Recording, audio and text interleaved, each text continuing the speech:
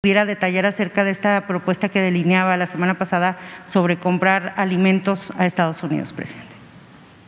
Bueno, eh, estamos atendiendo el tema de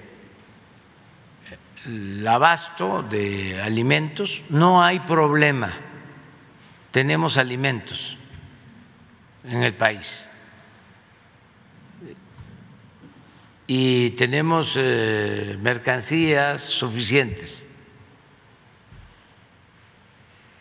Y estamos eh,